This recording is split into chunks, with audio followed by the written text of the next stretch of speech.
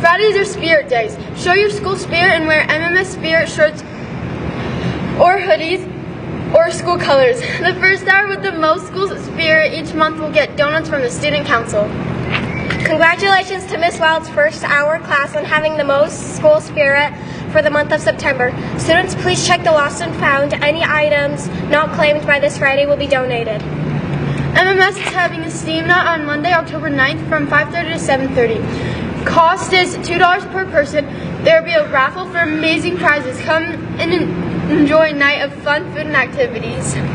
7th and 8th grade book club will be on October 25th. The book is A Long Walk to Water. And the 5th and 6th grade book club will be on October 30th. The book is City of Ember. Now a message from the Hope Squad.